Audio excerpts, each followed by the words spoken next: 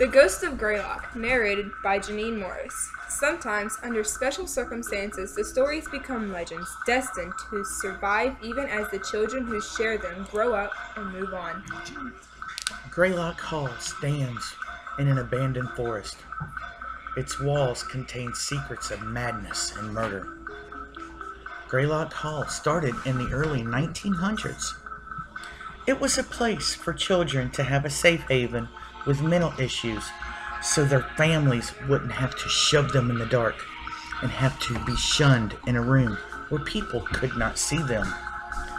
Years later, within several months after three children were found at the water's edge, small limbs tangled in lakeweed, eyes staring blindly at the pale morning sky. The town refused to believe this was a coincidence. Suspicion from co-workers led to Nurse Janet's arrest. She worked the graveyard shift. The next day, she was found hanging from a bedsheet. With her death, the truth would remain her secret. A few years later, Graylock Hall was shut down. But in the town of Hudson, the tale of the nurse lived on. As the tale goes, a woman in white still wanders the corridors, daring anyone to enter.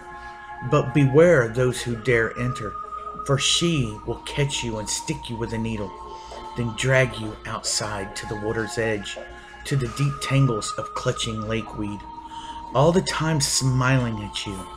So beware those who dare to go to Graylock Hall.